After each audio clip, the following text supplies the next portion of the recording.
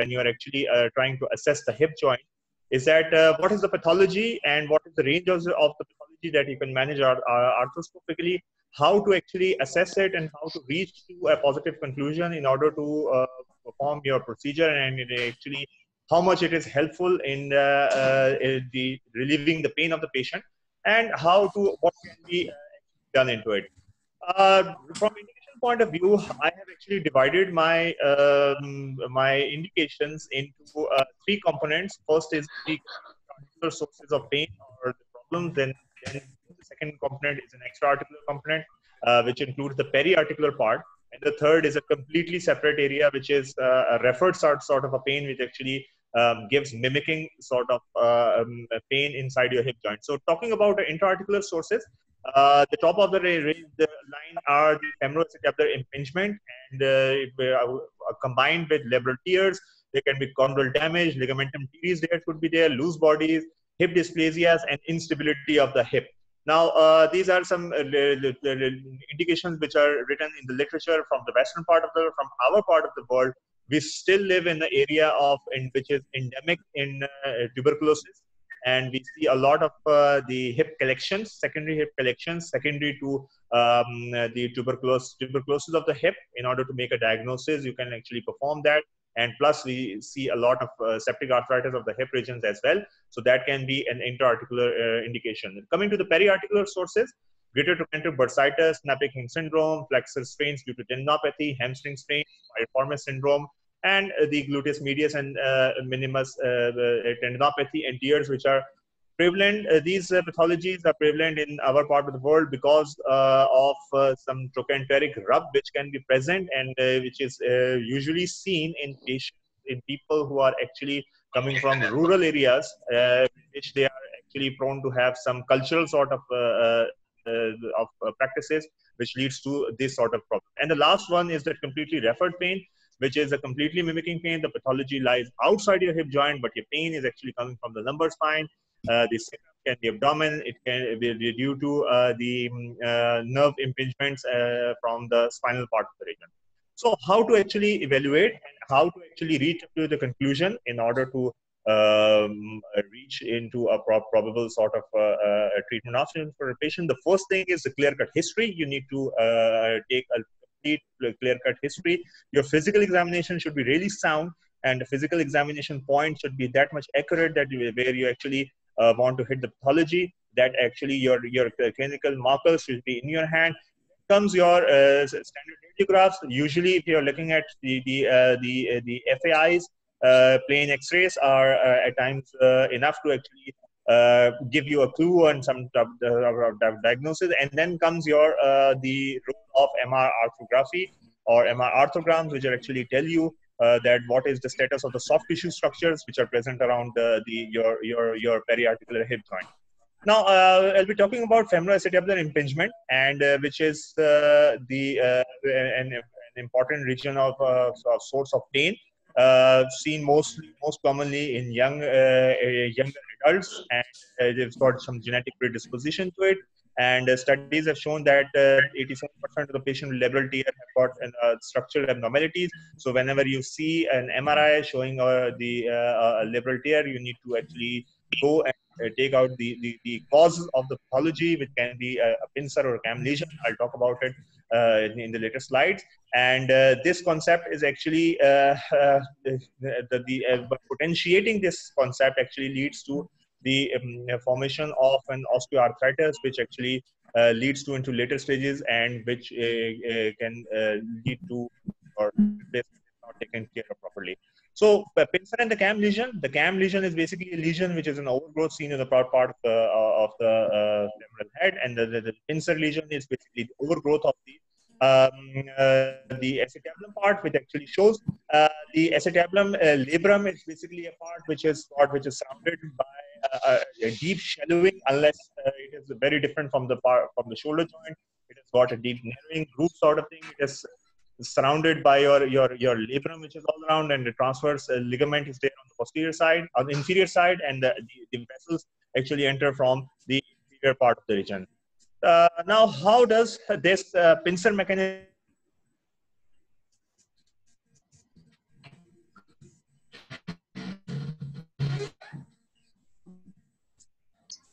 too much disturbance on the connection problem. It's okay. It's okay. Just wait till come. I think he's having problems with his connections.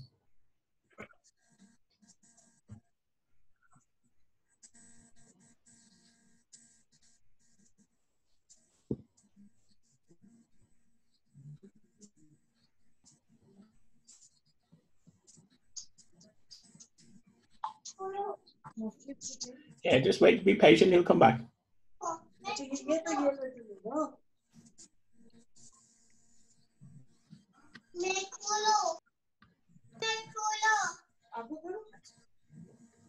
Can we make sure we mute ourselves so we don't get uh, the interruption from other people, like I said? But Sufyan will come back, no worries.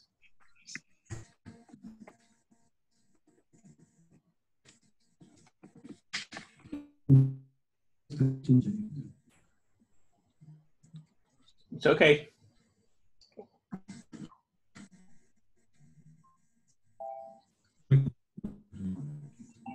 Back. Yeah, good. Sorry. Yeah, yeah, we see you. Uh, yes, I'm extremely sorry for that. Uh, I don't know what is wrong. Can you see my presentation? We can only see your face now. There you go. Your presentation is okay. back. I'm really sorry for the interruption. It's okay. Um, okay, so coming back, you see that they, going back to my previous slides, you see that there's some sort of a subluxating event in the proximal part of the of the uh, of femur head of the femur, which leads, which becomes a pain generator, and it, it predisposes to early formation of early osteoarthritis.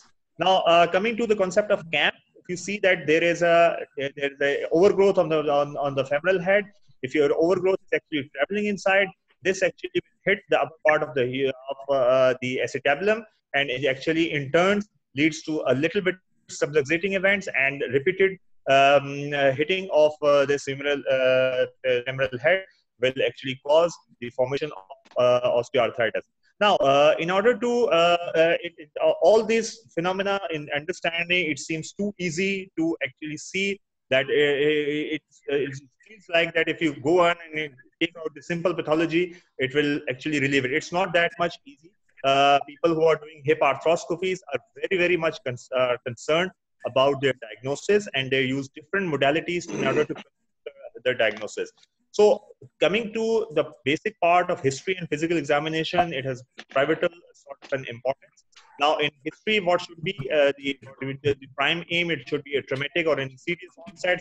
There is any talking activity, subluxation events, whether you're looking at pathologies of DDH, of a Perthes, a uh, which is common in, uh, in, uh, in pediatric population, or you're looking at Now, uh, in coming to the history part, you need to know that whether the pain is coming from the lateral side or the posterior side. It's a groin pain. It's it's actually associated with numbness. Which, uh, to in order to prove that what it see, uh, in order to uh, there is a the brief algorithm in order to uh, to uh, to make a sense that what type of pain actually you're actually aiming for. In coming to the history, if you see there is a lateral thigh pain, most commonly it is the the lateral component problems of bursitis, ITB snapping, piriformis are there. But if you see that it's a central component or anterior uh, thigh pain or a groin pain, then the pathologies that you'll be suspecting are it will be impingement, labral, chondral lesions, loose bodies. And if it is coming from the peripheral compartment, then the, the, the, most likely it can be coming from uh, the impingement, the iliopsoas or the loose bodies uh, formation could be there. Uh, and uh, the, all these phenomena they actually leads to um, uh, your your pain and which twisting, running, on sitting, walking uphill, they, they are predominantly uh, they are your indicator markers. Uh, physical examination, you need to uh, have perform a few tests which are really important. Anterior impingement test, in which you passive reflex 90 degree followed by adduction and internal rotation. It gives you a very uh, precise idea in order to look for the IT band syndrome, you can perform your Ober's test in, in, in, the lateral position in order to see that whether it's a trochanteric bursa is the source of pain. And you need to perform your Faber's test in order to differentiate pain coming from the sacroiliac joint and from the posterior side. And uh, at times, I, uh, the people who are routinely performing uh, hip arthroscopy, they will agree that there are combined patients. There you see a lot of patients who have got combined sort of pain.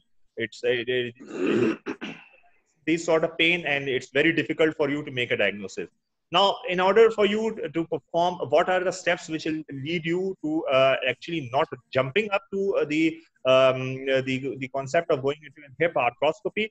Whether if you go into these sort of pathologies of impingement, arthritis, instability, or tight IT band, the first thing that you can that you should do is to perform an injection test. You should perform, uh, you should uh, put an injection inside the, the, localized pathology, and there should it should always be uh, preceded by a trial of physiotherapy in order for you to reach up to that diagnosis. Sometimes the the, the injection test can be uh, applied with an ultrasound guided, and I have um, uh, I've seen people putting injections using C-arms uh, imaging in actually directly entering into the central compartment of the hip after uh, dislocation that Mr. Shah will be actually telling you how to dislocate the hip in terms of when you're actually performing uh, the uh, hip arthroscopy. Now coming to a few uh, other uh, sort of problems that we are most commonly see that what happens is actually in osteoarthritis can you cure the hip problem, all your hip problems osteoarthritis. I'm not sure whether that can be the phenomena because they cannot be cured with arthroscopy, and uh, uh, you can you can actually get rid of the pathology in the initial stages in order for to, to, to them to facilitate in order to, to prevent this sort of recurrent subluxating events.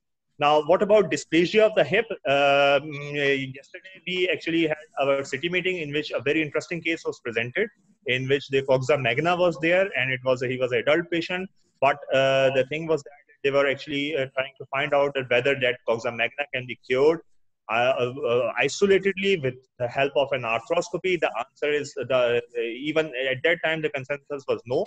And uh, in terms of dysplasia, you need to understand that uh, the, the, if you leave the head uncovered and you shape the upper part of the of the the femoral head, it will not lead to uh, it, it, will not uh, relieve your problems. And you need to have measure your major acetabular inclination angles very very correctly whenever you are looking for a dysplasia that a head should not be left uncovered even after uh, the shaping of your, your camera. Are some of the pictures uh, that uh, the after the pincer correction of uh, the, the cam lesions. I'm sure this will all will be uh, discussed in detail by Mr. Shah.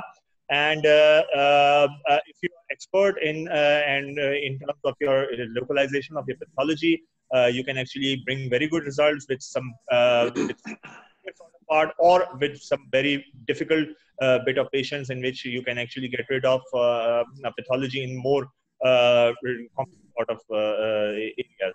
So, uh, in order to conclude, um, the hip, the concept of hip arthroscopy can uh, can only be addressed, and you need to understand the, the indication, the proper indication of actually uh, looking into that. The FAIs and the labral tears, they, not all of them needs to be fixed. You need to understand the pathology, the extent, the after an injection test, and then you need to patients very, very carefully in order for them to actually get better with your treatment.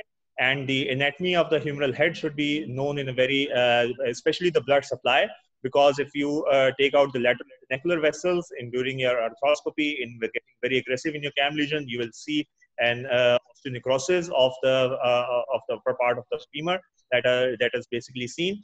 And uh, you should always take into account the advanced the history, physical examination, use diagnostic injections as much as possible in order for you to, to uh, be very precise. And uh, the osteoarthritis and dysplasia of the hip, these are two conditions which actually mimic you, basically push you to go into this procedure. You need to be careful in what extent that you're looking and the, the, the, the head, the area of the coverage of the head that should be uh, taken into account. So this will conclude my uh, first part of my talk, which is the indication of uh, the hip arthroscopy. Um, if there are any questions regarding um, this hip arthroscopy, you're, you're, you're more than welcome to, uh, to ask. Over to you, Mr. Shah. So comments. I, I, I started doing arthroscopy in 2009, hip arthroscopies, okay, and I had a, a, a, a very good tra- training and actually um, I was very pleased with it. But as as as I grow older, I become wiser. That's what it says and said. So uh, impingement is not my main diagnosis of doing arthroscopy now. So like like Sufyan said, you cannot change anatomy. You can make it slightly better, but you cannot stop arthritis, and you cannot make it, uh, you know, go away. So I do a lot more of, of other things besides uh, uh, impingements now because if you're arthritic, you can only buy time. And, and you know, I mean, believe you me, when you do arthroscopy for impingement, it's a struggle. It really is a struggle. to get into the compartment to do what you want to do and then get the results out of it. So I'm just going to give you a cheat code. If you see a person with hip pain, you do MRI scans for them. Okay. Once you've done the MRI scan for them, uh, it will tell you other things. You know, like the piriformis, the the problem, or you have labral tears or something like that. Okay. So what I would do is clinically, if they have groin pain, I would do what is called the lateral test. I will externally rotate the patient. And if he's got more external rotation than the other side, that tells me that the labrum's gone. Okay, so that's a cheat code. You need to remember if, if they can do external rotation more on the side, which is painful to the other side, and you've excluded all back pain problems, then that's that's because the, the labrum's torn.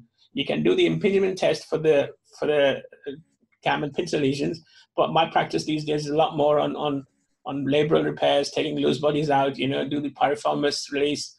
I also do the gluteal medial repair. So that's the easiest thing you can do with an arthroscope without giving big, huge scars. You know, when you put the patient on the lateral side, uh, the top of the tuberosity so easily, uh, trochanter is easily available that you can reattach these. I have special kit to do that, but that, that's the easiest part of it. The cam and pincer, I've given up quite a lot now. I don't do many cam pincer. The reason is the, the results were not very good. My results with patients who have got uh, trochanteric bursitis is very good. Patients that I have gluteal medial tears, that's very good. Patients that I take loose body out is very good.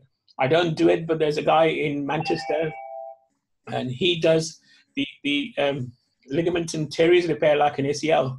He says that athletes, high profile athletes, when they run and suddenly stop and twist on their hips, they tear the ligamentum teres. And I had one patient I'd seen, I sent it to him, and he repaired it and amazingly he was he was fine so so we all started doing hip arthroscopies doing impingements okay however impingement is not in my practice anymore purely because i couldn't make them better. So i then send them to to mr sadiq who does the early young adult hips you know and he sorts them out. But i put my hand up uh, I, I don't get results with impingement. You know if, if if the pathology is already arthritic there's not much you can do. However occasionally you have bumps from like a old SUFE or something like that, and they do okay.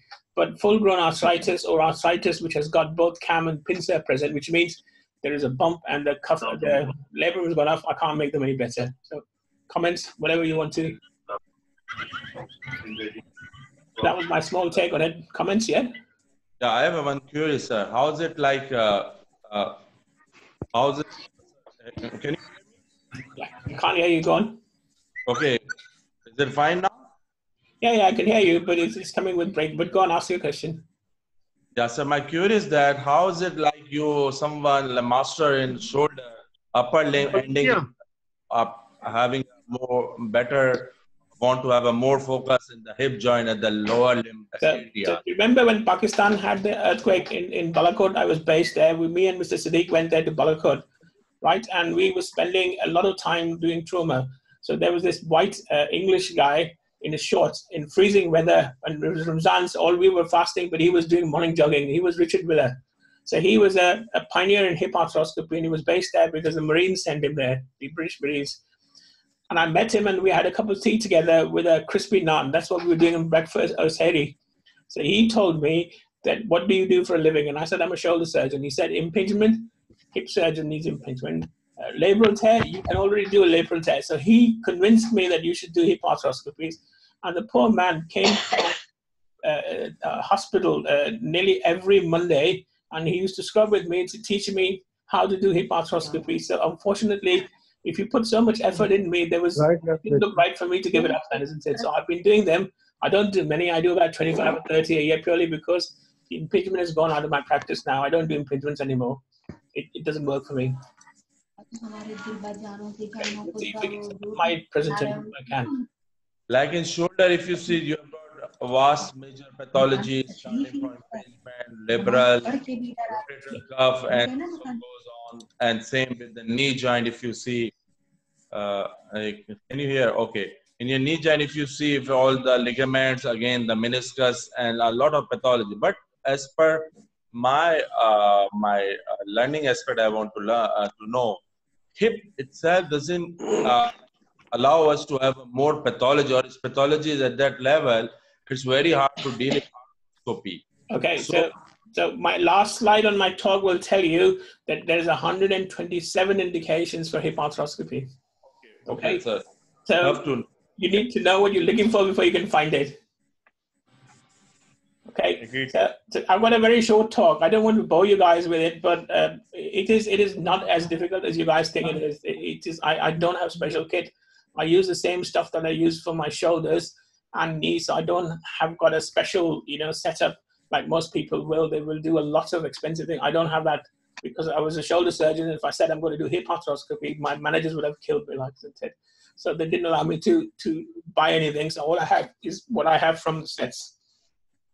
I did make my own um, instruments, a couple of them, so I will share them with you. But most of the stuff I have is what was already available for me to do shoulder arthroscopy. Okay, so my topic today is hip arthroscopy made easy. I hope when I finish, you all agree with me. Yeah. So, so the, the commonest person you're going to see with is a young man who's an athlete, and he comes to you with a groin pain, or not to me, but to anybody else. Okay, so that's the most common indication of young adult hip pain is groin pain, right? And so groin means hip and they go to their orthopedic surgeon. The orthopedic surgeon tells them, "You're too young. Wait for you to have a hip replacement." Okay, and that's the general feeling from the patient. He doesn't like what he's been told, so he wants to have something more. Okay, so for instance, uh, you, you, were already told by Sufyan that most of it is back work. Most of the referrals I get are from my uh, uh, spine colleague who does a lot of back pain work. When he's done his back pain one and he's excluded everything, he says can you have a look at it, Mr. Shah? I don't think so. This is back pain. So half the time in my practice, it's a leap of faith. You have to make sure that this is uh, hip related rather than back pain. And, and that's what Sufyan told you is you don't stick a camera in unless you're 100% sure what you want to do. Some of the signs are very vague. You don't know what you're looking for, yet you still have a, a very uh, uh, uh young man who has got right and he has no idea what's happening to him. Some signs are very obvious, like the external rotation more than the other side, or you have an MRI scan uh, uh, which shows you a loose body and there's clicking and you've got all that kind of stuff. Like, okay, so you have to have a plan before you go and start these things. You need to know what you're looking for, which compartment you have to go to, and, and what's your plan. So, as Sufyan told you, there's a central and peripheral compartment and there's a lateral compartment. This is a very nice um, uh, flow chart he showed you. I think if Sufyan shares that somewhere, for all of you to have it, that's even better, like I said. Okay. So, so like I said, you have to have a central and peripheral compartment to start with. So I use my fracture table and I have the image intensifier put into the middle of the patient. I've now changed. When I first started, that's what I was doing. I now go to the other side of the hip and come across because I don't need to have a lateral picture, just a central picture. So I don't have to break the patient's legs apart. Okay, so it's a simple, straightforward traction system and an X-ray image control. Okay. And these are my uh, um, portals. So that's anterior superior leg spine. You draw a straight line downwards and a straight line backwards, 90 degrees, okay? And these, this is the uh, trochanter. This is the anterior portal just above and anterior to it, this is the posterior portal. And my working portal is at 45 degrees between the angle of the anterior superior expanding forward and backwards. That's your working portal. These are your vision portal, but you keep swapping and changing them. So the first thing I do is call a traction test. I put the patient on a table, and if I can't get this picture where I can't uh, subluxate the hip, I, I don't do them anymore because then that means they're too arthritic and the capsule is too tight for anything. So this is my first thing. When I consent them, I tell them when you are lax and you're asleep, which is what TARDIS does, he, he paralyzes them completely so that everything is lax. So I tell them if I can't subluxate you, I would not proceed. This is what I tell them before I start. So the key is once you put them on traction, the traction is also very specific. You have to adduct and, and, and do tractions, which means that the hip comes out of the socket. Unfortunately, I don't have any uh, pictures to show you that, but hopefully next time I'll show, take some pictures. Now, once I subluxate them, then I put a, a needle uh, under vision in at the superior corner of my trochanter. And when you look at it, you're in the joint. Okay, so this is what's in the joint, and uh, and the X-ray will confirm it for you. Uh, and again, it is going slightly up at an angle to get into Very easy because once you put the needle in, you know you're in the joint because you can't go anywhere. There's nothing stops you from doing it. Okay. The next thing I do is I put air into it. This is called an air arthrogram. So allow me to know where I am in the joint or not. Is it outside the joint or inside the joint? Because the capsule will put the air into the joint.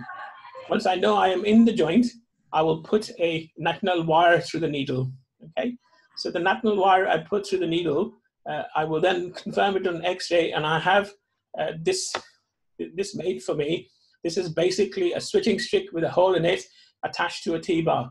So then what I do is on the wire, I will put the switching stick with the T-bar into the joint that I was. Okay.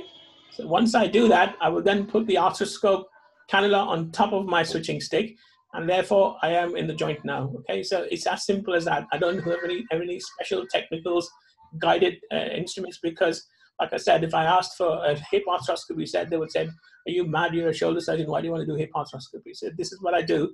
I would put a needle into it, put air into it to confirm I'm in the right space, put a nitinol wire into it, and on top of the nitinol wire, put a switching stick on it, and on top of the switching stick, put the sheath of the camera. So this is a sequential dilatation. There are a lot of instruments out in the market which will allow you to go from very small to very big to dilated.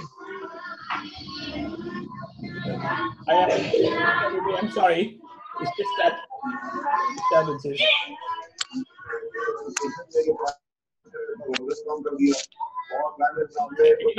Mute yourself, yeah? अब ये यहाँ कह रहे कि क्यों जल्दी कर दी तो पहले तो ये बताएँ कौन को कि ये वहाँ सच बोल रहे थे यहाँ झूठ बोल रहे हैं यहाँ सच बोल रहे वहाँ झूठ बोल रहे हैं नंबर एक नंबर दो ये राणा सनावला साहब कह रहे थे कि जहाज़ मार गिराया वो एयरफोर्स? क्या तो वो गोलियाँ से गिराते पत्थर से गिराते या पतंग से गिराते ये तो भाई एयरफोर्स का काम। एयरफोर्स में सिविल कमांड रहेगी हिसाब से एयरफोर्स रिएक्ट करेगी या फौज रिएक्ट करेगी। कोई सिविल गवर्नमेंट जो है yeah. पेशा लेती है। मतलब ये ऐसी बातें बचकाने वाली बातें। और प्लस कहना कि जी हम तो मोदी को ले आए थे बिल्कुल आप मोदी को लेके आए थे। आप मोदी को ना लाते और मोदी के सिरा- सर पे सर पे नहीं, तो आप जब आप बोले एक दूसरे को बचकाना कह रहे हैं। तो फिर क्या मैसेज जाएगा एज नेशन एज नेशन क्या मैसेज दे रहा है? Don't understand why people want to talk politics in here, isn't it? तो बड़ा अफसोसनाक ही प्रोग्राम के अंदर जो चीज़ें मैं सुन रहा हूँ। वो तो मेरे लिए बड़ा I have a disappointing past problem somewhere, but I've lost मैं it. तो ये समझता हूँ कि इस टाइम पे हमने बड़ा बड़ा ज़बरदस्त काम किया था। यूनिटी दिखा के दोनों पार्टीज़ ने और ऑपोजिशन और गवर्नमेंट ने कि जी Okay, I think I've sorted it. I've muted everybody here. Um, I, I will open the cam. Uh, mute. You, you can actually unmute yourself if you want to, but uh, when you ask me a question, you can do that. Yeah. Okay. So I think I've got to mute everybody. Good. So so this is what I do. I, I will uh, put a, a needle, dilate it with a switching stick, then put a sheet on top of it, and I have got my camera there. And this is the first vision I get. I get in there. Okay. So this is this is the humeral head. This is the rim of the acetabulum. There's a triangle area which is where I need to put my needle in, and that's the 45 degrees angle I told you between the, the uh, anterior superior spine and the labrum. Okay, and this is the vision, the picture you're going to get. And as soon as you get this, all the bubbles disappear and the picture becomes very good. So some of the companies have made a targeting device. Once you put your camera in there, it attaches itself to it and it allows you to do that. But you've got extra control and you can see what you're doing, so it's not that difficult. Okay. So, so this is my end, end picture from my uh, starting my process before I start anything. Uh, this is my camera in the anterior portal or superior portal. This is the 45 degrees. This is called half moon cannula. This is the only thing that I've actually bought for my arthroscopy, which is like a cannula, but the top is missing. So it allows you to switch portals. That, that's the key for it. That's the only thing I bought for my arthroscopy, apart from whatever else I had on the show, shelf. So I think I've got a small video that I can show you what I do. Okay, so I put a, a needle into it and, and then I put a nitinol wi- wire into it, take the needle out. Okay, then I use a dilator, which is my switching stick.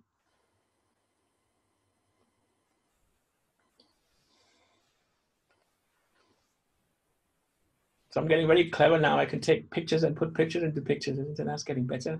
Anyway, so so this is where the, the switching stick has gone in there, and the sheet will go on top of it to allow me to put uh, my camera into it. Okay, so there you go.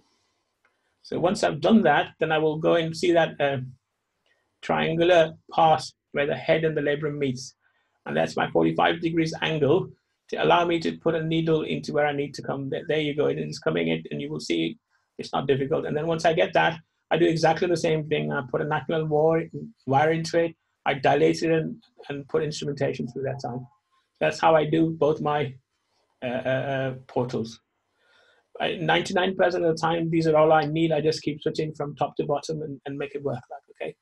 So I, I don't need to have any more portals, but you can go as as many portals as you want. I keep it simple because I don't do impingement work now. I, I it doesn't work for me. So what I do with these is you can diagnose labral tear, you can diagnose synovial hypertrophy. This is a ligamentum teres tear. Okay, so it's a real pathology. It happens and people can see it. Okay, uh, loose body is the easiest thing to do. You can take the loose body out, and the patient is amazingly far better symptomatically, much better. Okay, uh, so once I do the central compartment, there are very fancy things to do, but I, I, I keep my camera where I am and I let the traction go. So when I let the traction go, the head comes back into the socket, which means you're now in the lateral compartment. Sorry, in the peripheral compartment. So this is the uh, rim of the uh, acetabulum, and you can see the head and neck of it, and you can see a lot uh, more uh, by just allowing the traction to go. So I don't do anything um, funny with these guys because a lot of uh, um, books will tell you you have to take all your bits out and then you put your camera back in a different portal to see your, your lateral compartment, sorry, peripheral. I don't do these things. I just do simple traction release and this, this comes when this happens, okay? And this is what has finished. Uh, this is a post, post arthroscopy patient who had a, a, a, a basically a loose body, which I took out. So I've, I've got a couple of more portals and I made, but that, that's all you need to do when you're doing um, uh, uh, arthroscopy of the hip, okay? So this is another um, area of the hip, which is the lateral compartment. Now, in my hands, the lateral compartment and the tensor fasciae latae, the gluteal medial repairs do a lot better, and I've got far better results with these than, than I have with, with, with the pincer, cam impingements, and all that kind of stuff. I can repair the labral tears, but this this arthritic pincer cam doesn't work in my hand. So this is um, this is the trochanter, and I've got a portal superior to it and equidistant inferior to it. And these are both my visualizing and working portals. I, what I do is I will, you know, I think I don't have those slides. Okay. So what I do is I take a 50 cc syringe, and before I take that, I take, uh, uh, you know, the black spinal needle, and I will go in the middle of this trochanter and push it down. And when I push it down, it touches the the the, the trochanter, and I know I'm touching bone. This is exactly the same thing what you do when you're injecting the trochanteric bursa. Then I put my uh, uh, two trocars and cannulas on both sides, and I touch them. And when I touch them, I feel them. I know I'm in the same compartment. And then I would put my camera in there and start filling this uh, before uh, I put uh, visualize it. And once I've filled it, I would look and localize my needle. Once I know where my needle is, I know I'm in the right place. Okay. So so this is the setup now. This is my needle. Can you see this needle?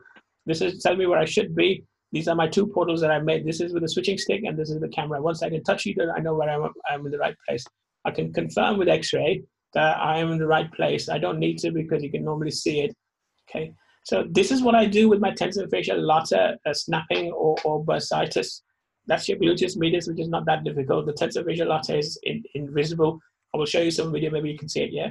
And, and I do a cut like this and then I do a cut like this, not going two into two percent becomes a diamond. The, the trochanter then fits itself in this diamond, and all the bursa pain is gone. I have I have a series of over 100 patients, and about 95, 96 percent of them doing well just by doing this to them. I don't do much uh, uh, more than that, just maybe shave some of the bone, but that's what I do for my lateral compartment. Okay, and there's a quick video there. So this is what you can see is the fat, and this is the tensor fasciae latae just to come in a vision. Okay, so I'm just taking the fat out just to localize the tensor fasciae latae on the lateral compartment. And you can see the white bit is the tensor fasciae latae. The red bit is the gluteus medius. If you have a tear, you can always put it back. So you, you, you're just about getting to see the tensor fasciae latae. And, and hopefully uh, I will show you how to cut it, yeah. So a vertical line and a, and a cross line, yeah. So a vertical line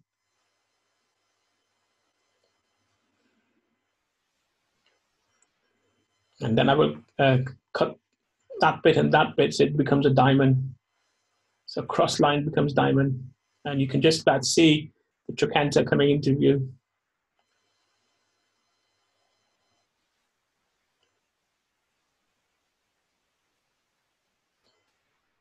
So this is my cross uh, uh, cut now, going anterior and posteriorly halfway because you know the nerves out there, you don't want to kill the nerve, yeah and just about uh, the trochanter is coming into vision. If I feel the trochanter is very rough, I will take my acromionizer and I will flatten it. So that's what I'm doing now. I'm flattening the, uh, the uh, so I, this is again everything I have from my shoulder practice. I've not used anything that um, that I have to buy and, and upset my managers. Unfortunately, we, we are now slaves to managers in this country here. So you can see we're flattening the tuberosity now, the sorry tuberosity, the trochanter, nearly. Okay, so so this is just a picture to show you. That's what the tuberosity looked like before and after I flattened it. This is what it looks like.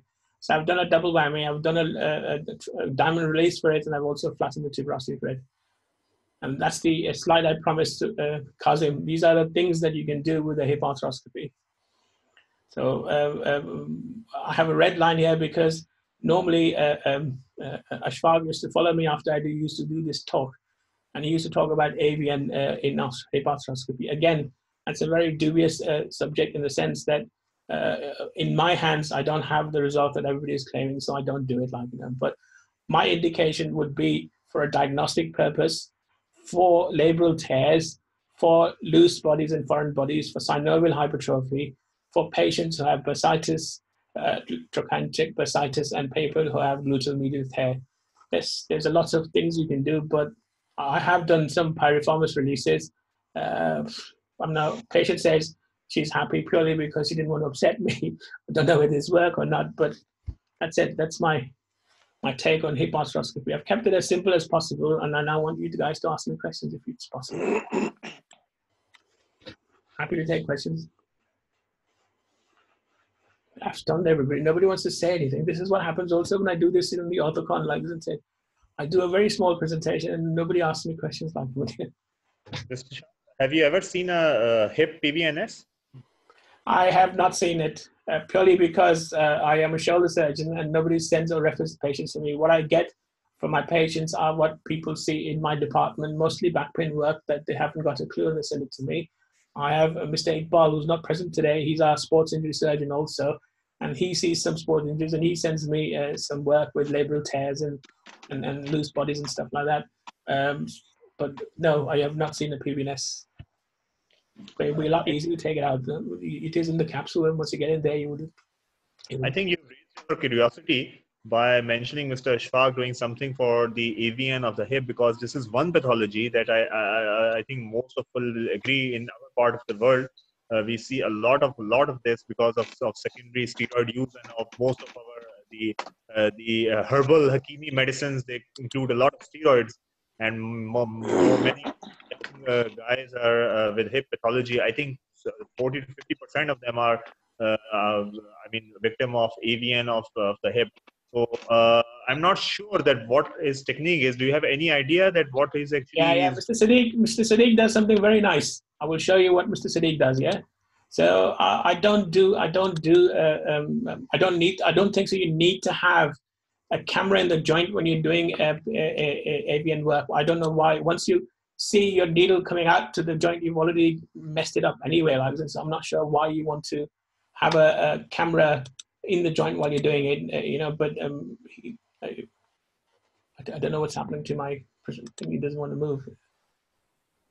I had some nice pictures from Mr. Sadiq's uh, presentation. It is, I think I had a chat with you about it. It's, it's from Wright Medical, and it's uh, you put a big, huge uh, uh um, hole into the under X-ray control and then you had a flip cutter in it. It cuts the undersurface of the um, uh, undersurface of the, um, the, the, the head, and then you have some bone uh, um, putty that you put in, which is which is called ignite, which actually uh, makes it solid like cement, but it's it's bone based. Yeah.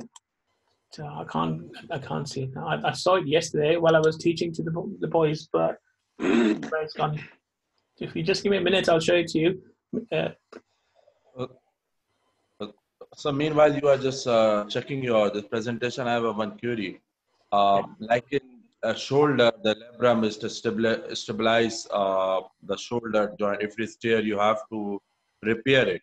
So what about in the hip joint? The the labral tear, itself, by removing it just to uh, uh, the positive of the pain or any tear in the labrum, will going to have any impact on the shoulder joint or uh, there will be no issue with that. So, so you can't take the labrum out. Uh, it is a structure that gives you stability. However, the the, the we, I think we had a talk about this where the shoulder is not the hip joint. The hip joint is hollow, and therefore you get a lot more stability. So a labrum actually is catching and causing you pain by traction. So you, you can take it off if you want to, but um, you know, in a young person with the labrum being totally normal, I would not recommend doing that. But but my understanding is it causes more mechanical pain than anything else. Like so it's not a pain in stability. So this is what, what, what is available. You, you under image control, have a look inside the humeral head, which has got AVN, right? And you put this instrument in there and then it opens out. You can see that it opens out. Can you see that? Yeah. And it makes a space, right? You have to dead middle center on this and nothing but the, yeah. So this is what it does. It makes that kind of space. You have this and that. Oh, we can't- Okay. Uh-huh. This is done mechanically, and then you put this bone putty into it, which is like a bone graft, but it is artificially prepared and it has got BMP in it. It is it is expensive, but Mr. Sadiq has got some practice with these uh, with with these patients. He's got five of them, and they've So all got to do well. So Not I would not, I would personally not do an arthroscopy to, to see from inside what I'm doing with the AVN because if I if I if I break this, my arthroscope is not going to show me inside here. It's going to show me here, like isn't it? So if I've already penetrated it, the, the, the, the job is gone. You can put an arthroscope in there. For what reason, I'm not sure, because that's what was shown that he puts an arthroscope in there after he makes a hole by making sure it does not penetrate on this side, and then he fills them with bone graft. But this is a very nice kit. It comes for AVN. Uh, you don't have to have this. You can have your own uh, DHS reamers, and you can make this and then fill this up on the image control with, with where you want to go, where the, the problem is, and then fill it with bone graft. Like that. So, okay. So we were not able to see that uh, your presentation, sir. Did you see the X-ray or picture? No. No. No. Okay, okay. So it says. I'm, I'm sharing it with you, but I'm not sure what's happening. Okay. I think your your your system is overloaded. I've got so much teaching stuff on it, like you, you have no idea, isn't it? Let, let me start again, yeah? Okay, just, just let me say.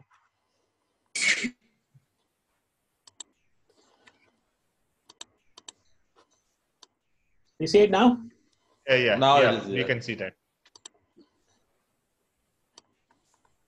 And what it is, it is a system that is got a pin in it, and the pin has got a, a, a, a reamer on it, and the reamer makes a big hole here. So the reamer looks something like this.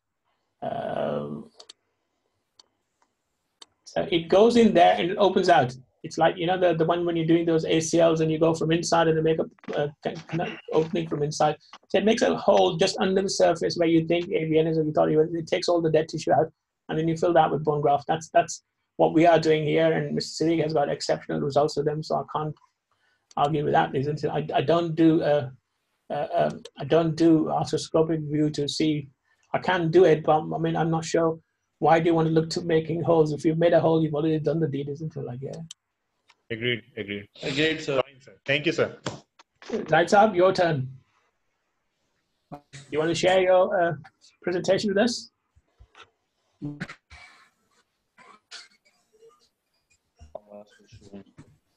There will be a green folder at the bottom of your com- screen which will say share. Oh, very good.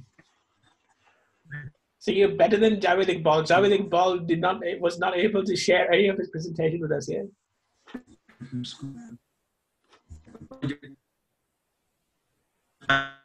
just in front of me. Right, so shall I start? Yes, yes. By all means, sir. Everybody's got to do a lot of things I've been told. I keep on the screen and I talk too much, and everybody thinks that Sunday is the time for recreation, isn't it? Just done already. Shop on and finished now, so. So. So, Zainab, your voice is not coming properly. Hear me now? No, it's breaking up. Uh, you need to first of all is is make your slideshow from the start and see then if you can speak better.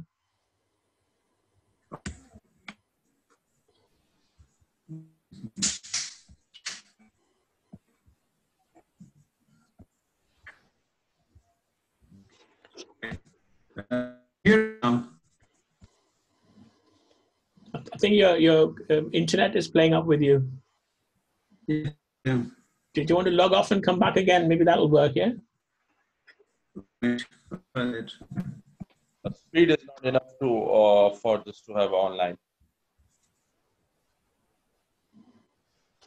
So Zahid, uh, sorry, Sufyan and Kazim, you need to come and help me on those difficult matters. Somebody was asking about TB spine yesterday. I have no clue. You've never seen one. I've never done anything like you know. So you need to help me on this forum to teach people with TB spine. Sheikh Saab said he was going to do it, but Sheikh Saab uh, is always so busy. Can Sorry. you hear me now? Yeah, I can. Yeah. All right. So, we, um, so I'll be talking about uh, ankle arthroscopy in just a, ba- a basic lecture. Do, do you want to click slideshow? Yeah, that's it. Wonderful. Thank you. Uh,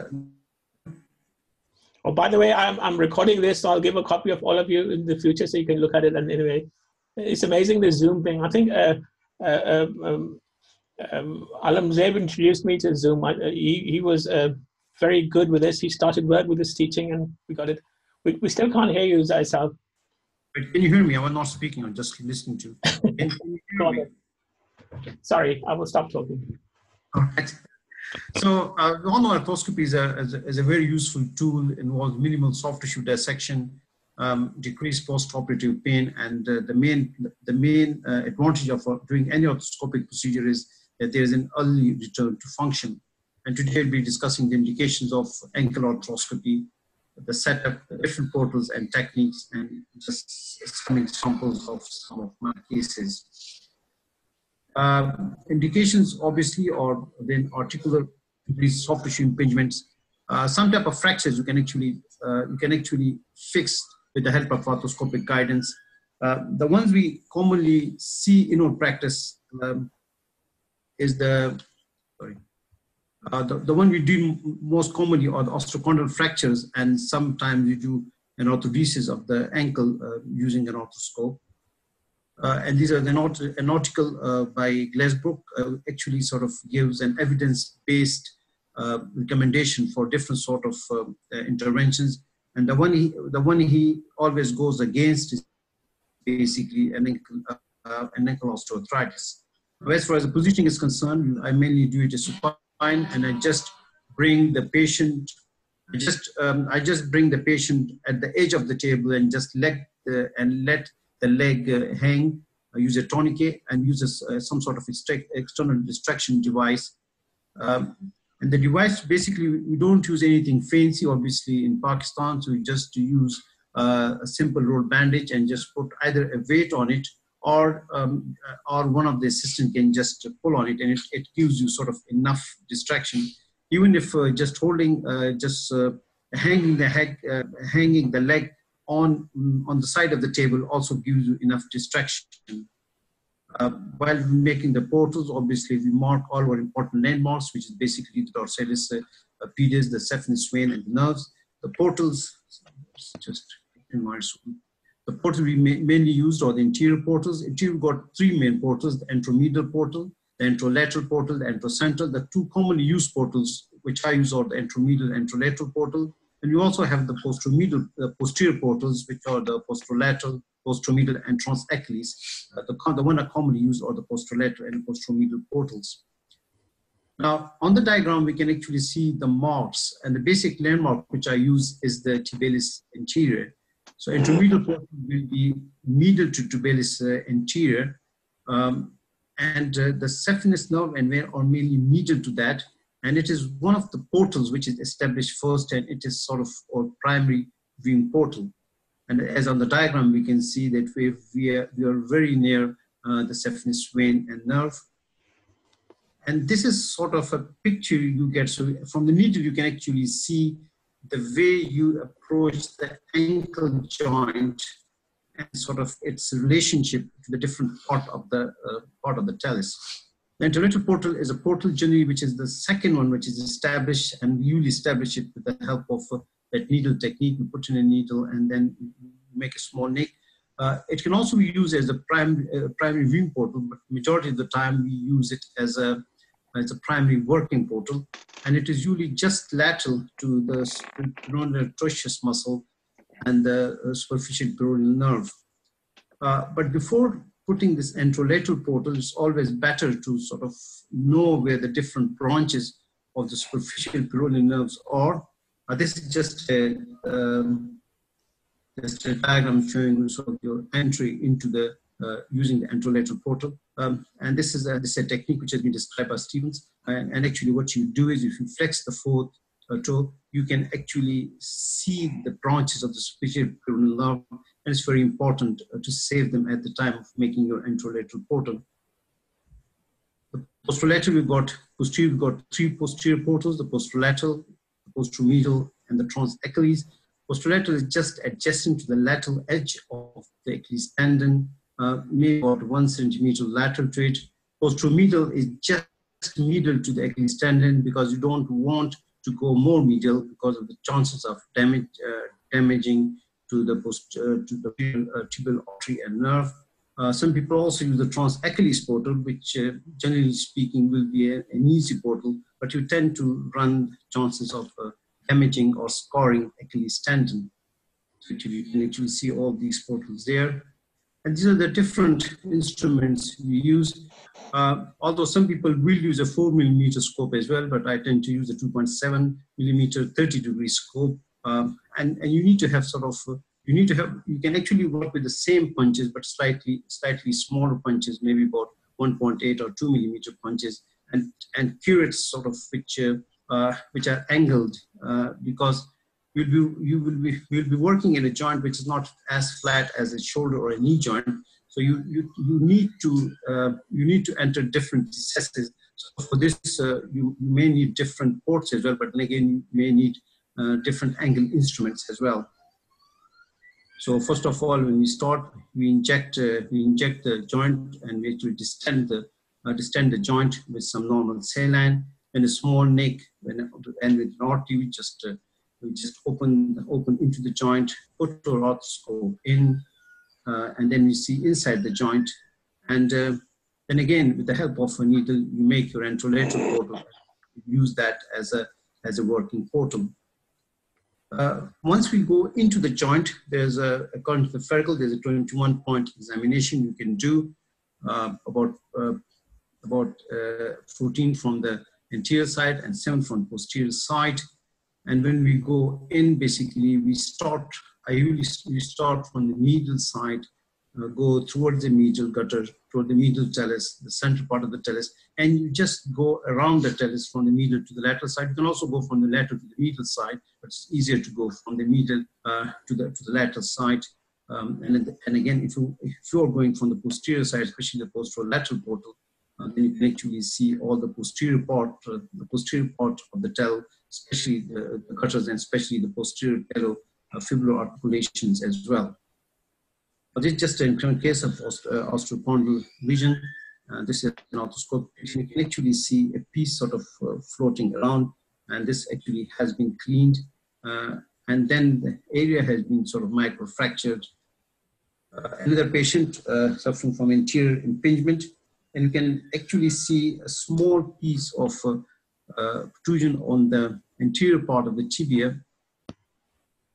And this uh, has been sort of shaved off. And this is sort of the post-operative picture. And our next, you can actually see that small sort of uh, calcification has been sort off. Another thing we use sometimes is for ankle arthrodesis as well. And it's a very, uh, I must say, ankle arthroscopy, if the joint is not that much destroyed, then especially in my hand, it's, it's a good way of doing an ankle arthrodesis as well. Because one of the problems of the ankle arthrodesis is to get rid of all the articular cartilage because the success of an ankle arthrodesis will uh, depend upon how, how well you can debride or you can clean all the articular cartilage. So um, it, is, it, it, it is a very useful tool of uh, getting rid of all the articular cartilage because once when the articular cartilage is denuded, all you need to do is just fix in position with the help of some um, uh, some cannulated screws. Obviously, with, uh, along with other uh, things, it also has its complications as well. Now, majority of the complication rate can run from anywhere from 2 to 6%, and the most important complications are all mostly your neurovascular because you're working very near, especially sort of the superficial nerves, Uh, the is a, is a common complication, especially in the anterolateral portal using superior peroneal nerve is uh, quite uh, is quite near, while the anteromedial uh, portal, the, the nerve and, uh, and vein are quite near. If you're using anterocentral portal, which basically sometimes you have to go through the uh, to, through the extensor extensor communities, there may be a chance of damaging the dorsal pedis nerve. So in a nutshell, uh, arthroscopy is a very useful procedure. It has got quite a lot of advantages in open surgery in some cases, especially uh, if, if, especially in osteochondral fractures, ankle arthrodesis, uh, and especially getting rid of impingement. Uh, it has some potential neurovascular complications as well, but fortunately they are not that hard. Uh, and, and it's very important to say, identify your portals exactly uh, because in that area there are quite a lot of nerves, especially superficial nerves. And if you damage some of them, then the patient do develop some neuromas. Thank you. Any questions? Anything? So, so very good. Yeah, I mean, uh, it is a difficult uh, uh, um, joint to get to. When I'm doing wrist arthroscopies, I do exactly the same as I don't cut anything besides the skin. Skin, and I use my small artery uh, to open it. Although saying that, I don't get into the capsule because if I do, then all the fluid comes out of it. So I go up to the capsule, but not into the capsule to make sure that all the vital structures are away. Uh, it's an amazing tool, and I do agree with Zaid was saying is that uh, arthrodesis is one of the main indication that people are now using this more and more. Yes, it's a diagnostic tool. It actually tells you about anterior You can take uh, a lot of loose bodies and flaps and everything like that, but but yes, uh, uh it is a tool that we all need to, to have and use and it's not difficult. I, I don't use uh, the 2.5, 2.7 uh, scopes, but I have the 2.7. I still use a normal scope. I, I don't do them anymore because uh, I've got too much shoulder work now. When I started them, I was doing them. And, and, and, and we, we in Europe have got the stirrup. It is exactly like what you've used, but it, it basically is, is like that goes in uh, superiorly anteriorly and holds the heel and the forefoot and just protraction on it. But yeah, very good. Uh, anybody else wants to ask a question from myself? Yeah, Sufyan?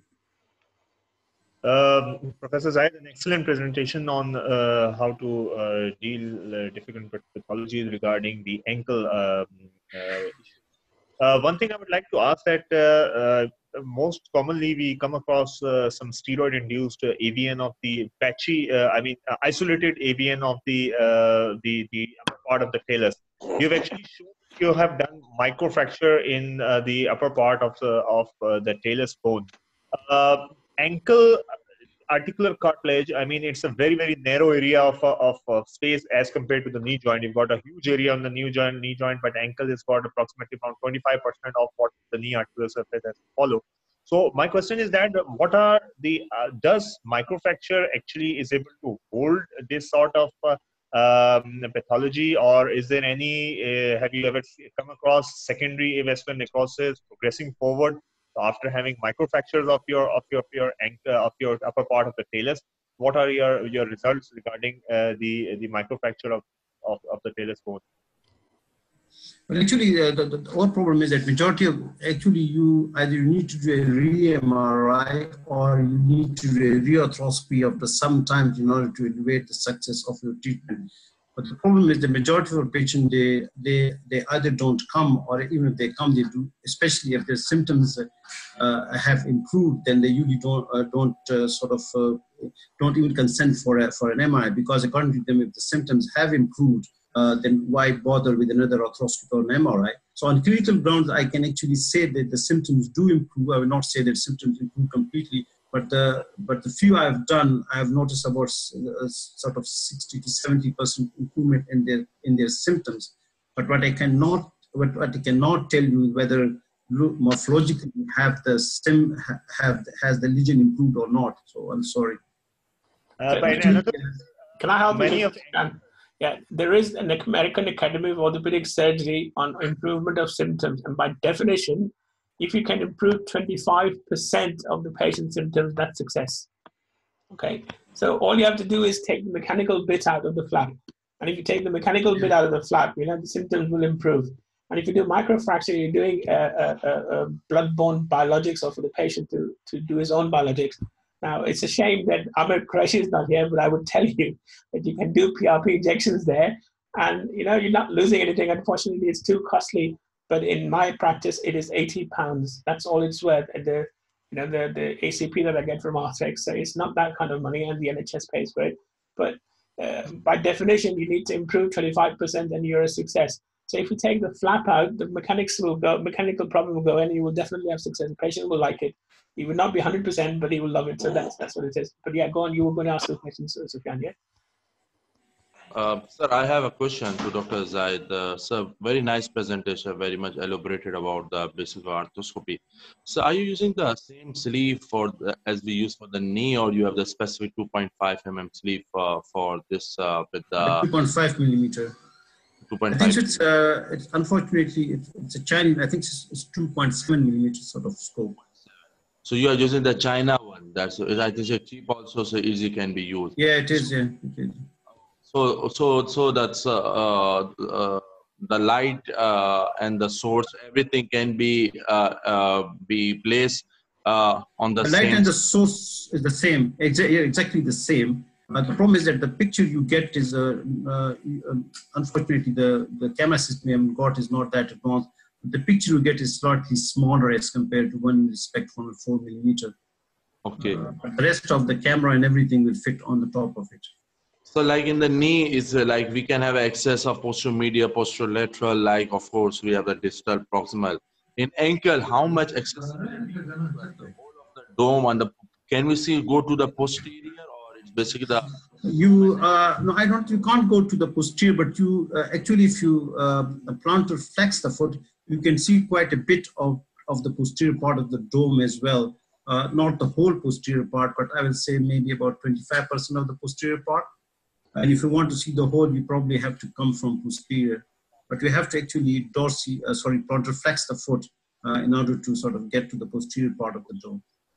So what are your indications, sir, in which we you go for ankle arthroscopy? Are you like fracture are your indication or you don't uh, do arthroscopy? Majority of the patients we see here are there are either osteochondral fractures or ankle arthrodesis, and sometimes uh, some sometimes the patient is complaining of synovitis or unexplained knee uh, ankle pain. So we go and do do an arthroscopy. Okay, thank you So, very so much. Kamran Bhatt has joined and is keeping very quiet, you know. So you do a lot of ankle arthroscopies. Do you want to, to make a comment? Yeah, thank you very much. It's nice presentation by by Zahid. I must say, when I started a couple of years ago, I was doing all those things what uh, Sufyan and Kazim is asking question. Number one, I don't use any more traction. If you put at the edge of the table and actually use your belly, dorsiflex the ankle. And that actually helps you release the anterior capsule. You don't need a special 2.7 or anything.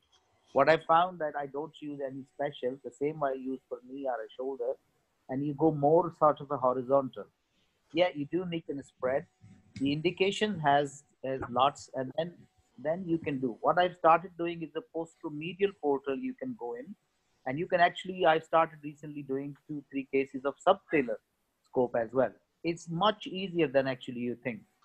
So if you go from posteromedial, you can very easily go and you have to just spend some time cleaning it. And the ankle joint is just superior and inferior, you see a subtalar joint.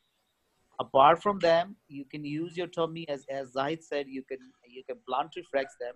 I hardly find any difficulty actually doing from there. In terms of indications, yes, there are osteochondral patients coming to us. There are footballer ankles. There are osteophytes.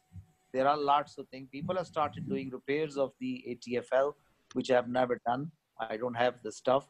Uh, arthrodesis I've done, and uh, I think it's it's much easier learning curve, especially for for, for, for both young surgeons who are asking questions.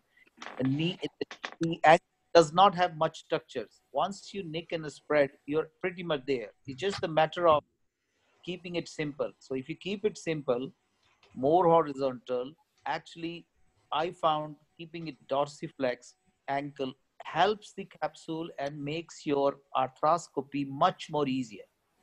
So if you put the weight or put any traction, I used to do a funny traction. I used to have a crepe bandage. We can't afford like Shah can in UK.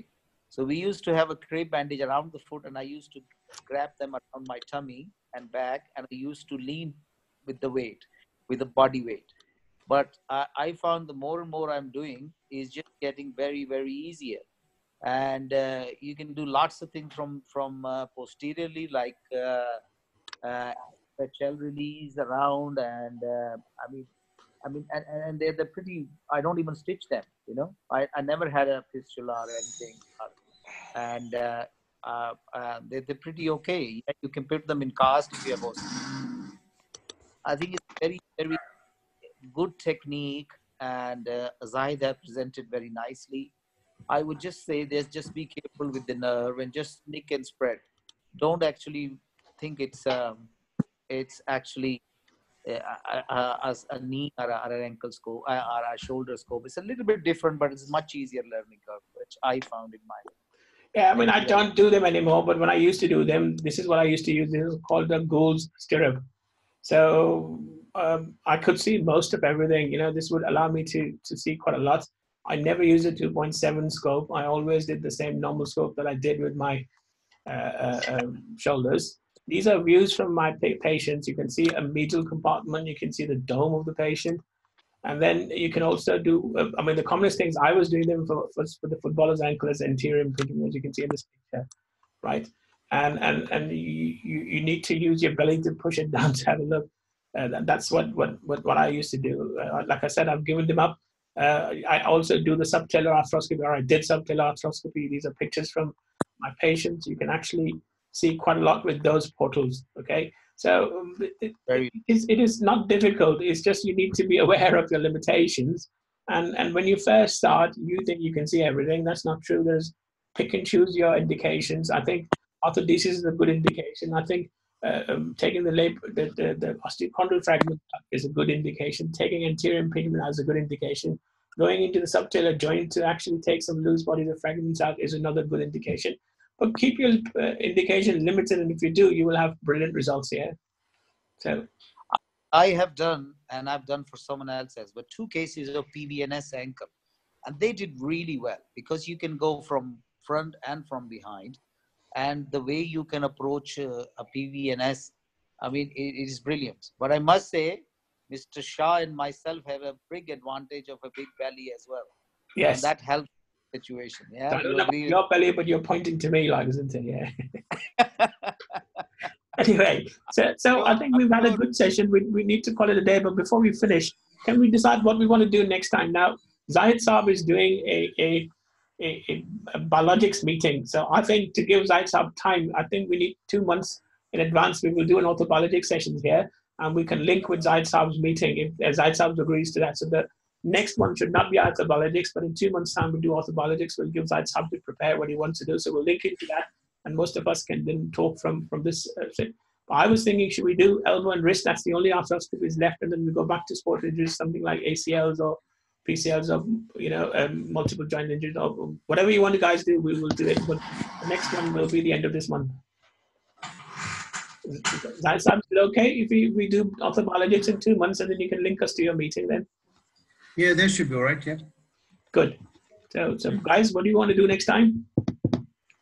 Posterolateral corner injuries of the knee, please. Okay. What else? So, anybody else? Uh, Sufyan, uh, uh, Kazim? follow the seniors, uh, which so we will we we, uh, we will have the same uh, as uh, Mr. Salimi has. Uh, well, we are uh, still two things more have to we have uh, if we can have uh, some we can throw a light on it. One is elbow and the wrist, and uh, that we're going to uh, finish our all the arthroscopy basic arthroscopy concept for the different joints, and then we can have a sub subtopics for every joints. The club shoulder come with like uh, Bankart. Then we have a rotator cuff, bicep. So specific part of any of the Yeah. uh, arthroscopy that will further going to enhance our knowledge and uh, our way to treat that those Yeah. problems. I think we should we should we should complete the circle. We can combine uh, uh, two lectures for uh, elbow and one for wrist, or two for wrist and one for elbow in the next in the next meeting. So that will give us a 360 degree horizon first, and then we'll go into details of uh, specific joint. Yeah, I mean, I'm, I'm, I'm happy to continue this way because I've learned quite a lot from from from you guys too. Like, I mean, I, I don't know everything. Like I said, I've always I pretend I know everything, but I don't know everything. Like you know, so so I think uh, we can do wrist and elbow. I mean, uh, Will Good said he wants to talk on, on on wrist arthroscopy, so maybe we'll get him and rope him in to do this next time. So we can do one uh, wrist uh, arthroscopy session indication and one elbow arthroscopy. Keep it short. And if we can get uh, um, um, either you, Sufyan or Kazim, or uh, uh, uh, um, gracious up, you know, uh, um, to to Amir to to um, see if he wants to do posterior lateral corner, because uh, that's a sub- subject that a lot of people have got confusions on, and also multi-ligament injury. So, hopefully, we, we know in two months' time we're doing all orthobiologics. So next time we will do uh, elbow arthroscopy indication and wrist arthroscopy indication and if we have time or Amir agrees to, or what if you agree, uh, uh, um, then we can do posterior lateral corner, or we can do um, um, we can do ACL, something like that. Isn't it? Multi- So, Kamran Saab, do you want to do elbow arthroscopy next time? I have only seen, never done. We do restart. I've done. I've, I've done quite. Uh, I've done about five or six elbow arthroscopy, so I can speak on it. So, so we're not sharing, but I'll show you mine. I've got over 150 elbow arthroscopy practice licenses. So, but I've done a lot of work on it, and and and, and the other thing that I was told by um, uh, um, one of my colleagues was that if you could put fluid into it, you can watch it. So I do pre-patellar bursitis and olecranon bursitis also with arthroscopes now because the scar is much better and the patients do well. Okay, so it's agreed. We, we will do uh, Zaid Saab, you can do the elbow arthroscopy if you want. Yeah, I want you guys Yes, to watch yeah, it. can you? Zaid Saab can do elbow arthroscopy. Um, uh, Kamran Saab, do you want to do posterior lateral corner? I don't mind. Yeah, so you can do the posterior lateral corner, and and Sufyan or Kazim, one of you can volunteer of, of, of indications of, of doing elbow and wrist arthroscopies. And I can see if I can get Mr. Good to do uh, wrist arthroscopies. Should we call it a day? Thank you very much. Yeah, sharing thanks a lot. so before I finish, I need to uh, thank you all the people who are silent in the background. I can see Bakir Saab, you know, you've not said anything at all. But thank you very much for joining us. Salimi Saab is always there. Uh, Abdi Saab is, is there. Uh, so thank you very much for joining and thank you for being part of this forum here. So Sufyan, when, when you started, there was seven people attending. When Zaid Saab started, there were 13. And when I started, there was eight. So everybody Zaid Saab was implanted his, his, his trainees to come and join us. Can I let? Can I say? Can I say hello to Assalamu alaikum to Zaid Askar? He did a wonderful Oh, hi. PCL live surgery. So thank you very much for all the help. I think he's he's wonderful. And Mr. Shah is our Shah. You know, he's a lighthouse. Yeah, but I mean, education should go on. You can't be satisfied with what you've got. You have to do more. You know, you have to It's teach and you have to learn. It's a global right. We should all follow. You know, and the young guys, Sufyan and Kazim, and some of those guys I don't know. So thank you all. Thank you, It's sir. Wonderful. Yeah, mm-hmm. and the good thing was it, the timing was great. I finished my 18 holes golf, and that's the only time. Yeah, we're not worried about your golf. You know, this is education, sir. And today I was the second, so I'm very happy. But keep it like after lunchtime So, so because 18 holes Just to what you're saying, Kamran, yesterday I used this forum to teach the juniors who are doing FCPS exams. Yeah, there was 27 people and they were actively participating and asking questions and answering viable practices. So uh, it's amazing how this this forum. I think this is again uh, uh, not my uh, original. Somebody actually showed me this forum, but it works. Okay, I'll, I will make uh, save the video and I'll post it to you guys. You can have a look at it then. All right. Thank you very much. Well done, Mr. Shah, for all the books as well. Thank you so much. All right. Assalamu alaikum. Khuda Hafiz. Wa alaikum